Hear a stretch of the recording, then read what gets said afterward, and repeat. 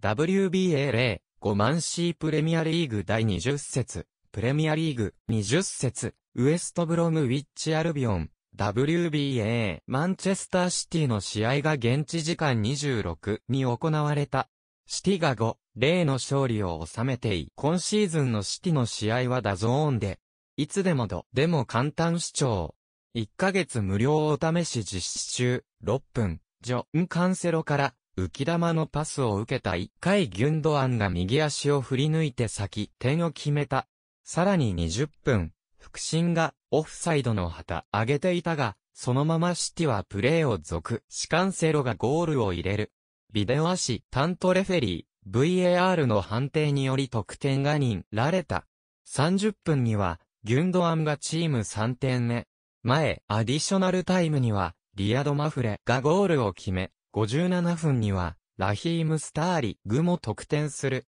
大量リードのまま試合を終え、ティワ5、0の勝利を収めた。得点者、6分0、1ギュンドアン、シティ20分0、2カンセロ、シティ30分0、3ギュンドアン、シティ45分、2ブレー、4マフレズ、シティ57分0、5スターリング、シティ、両。